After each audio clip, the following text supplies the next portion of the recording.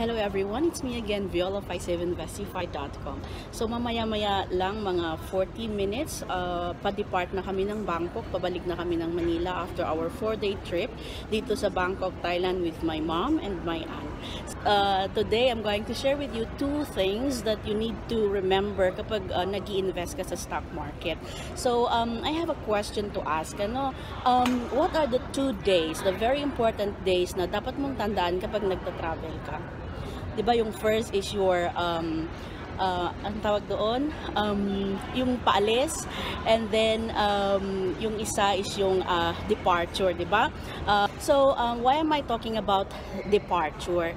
Kasi sa stock market investing you should also have your departure strategy. Ang ang tawag ko doon is your exit strategy di ba? So um, before you invest your money in the stock market you should know first kung kailan ka aalis kung kailan mo ibebenta yung um, ang, ang stocks mo And then, um, sa stock market kasi, there are two things that you need to remember. You can either win or you can either lose, di ba?